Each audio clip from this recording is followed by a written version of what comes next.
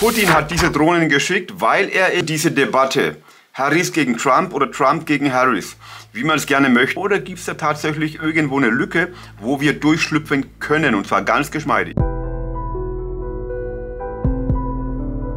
aus ihrer Bahn geraten und dort ganz dümmlich zu Boden gestürzt. Russische Drohnen, angeblich russische Drohnen, nicht dabei erwischt. Fotos sind hier als Beweis, hier, Entschuldigung, 180 Grad gedreht. Die Ukraine oder die NATO schicken eben Drohnen. Ja, liebe Leute, sind wir schon beim nächsten und letzten Thema für heute. Stellung, ein Fakt. Ja, mit einem dicken Ausrufezeichen.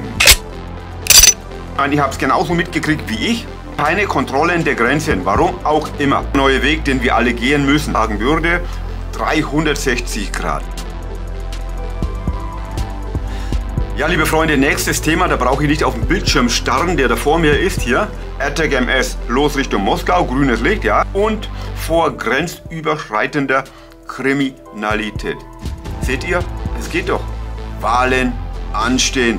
That's the point. Verliert werden, weil wir in Deutschland ein Problem haben. Ja, welches Problem haben wir denn? Wobei ich Möglichkeit Nummer zwei eigentlich ausschließe. Wo die Russen eben gesagt haben, nein, das steht bei uns gar nicht auf der Mega große Portion Gerechtigkeit. Mein Name ist Thomas Gast und mein Motto ist, Krieg ist scheiße.